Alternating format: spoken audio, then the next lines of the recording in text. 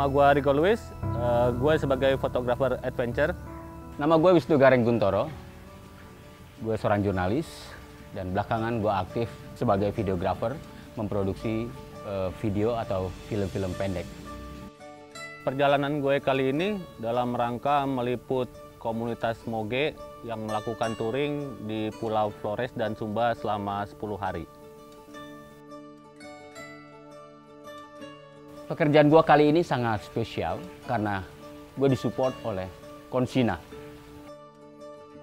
Memotret kegiatan adventure terbilang sulit ya. Banyak hal yang harus diperhitungkan baik dari faktor keselamatan, kondisi medan, dan juga kondisi cuaca. Dan semua sangat berpengaruh terhadap momen yang akan gue dapatkan. Jadi menempatkan kamera, angle-angle yang ingin gue capai itu kalau nggak pakai sepatu yang eh, baik gripnya dan ringan itu PR tersendiri dan Konsina memberikan sepatu yang ringan yang baik dalam hal traksi itu sangat menguntungkan. Dari segi pakaian tempur pun jangan salah pilih karena mobilitas gue yang tinggi, gue harus memilih pakaian yang simple dan juga nyaman digunakan.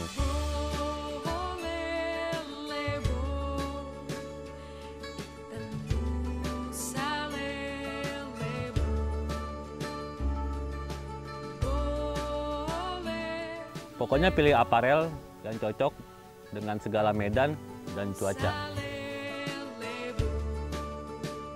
Kelimutu itu kan kawasan yang dingin. Hadirnya jaket dari Konsina memberikan kenyamanan tersendiri ketika saya harus mengcapture munculnya matahari. Menarik sekali. Beberapa kali saya harus menggunakan sendal dan sendal yang diberikan oleh Konsina itu memberikan kenyamanan ringan yang pasti dan tidak mudah lepas. Terima kasih ke Konsina karena celana yang diberikan itu punya fitur yang sangat menunjang pekerjaan saya sebagai videografer. Kantong yang banyak itu memberikan keuntungan. Dan selain itu ringan, bahannya cepat kering. Jadi beberapa kali saya harus kehujanan, bahkan saya harus nyemplung ke eh, apa danau gitu, nggak masalah. Gue memilih produk Konsina untuk menunjang kinerja gue di lapangan. Buat gue produk-produk Konsina itu pas ya, enak buat dipakai sehari-hari, bisa buat berkendara, bisa juga buat hiking.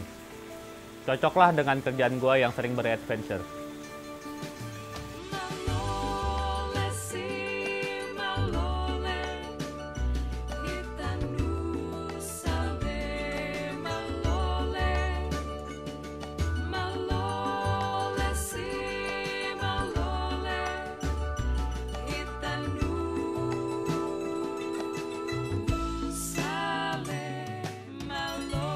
Konsina Outdoor Lifestyle secara keseluruhan praktis, nyaman, sesuai dengan iklim tropis di Indonesia.